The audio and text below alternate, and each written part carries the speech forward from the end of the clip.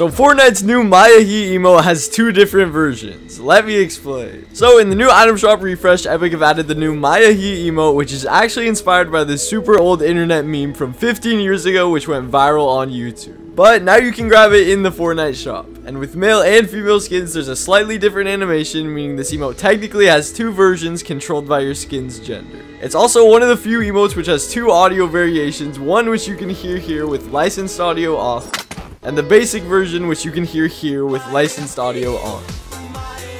Use code Aid in the shop so I can eat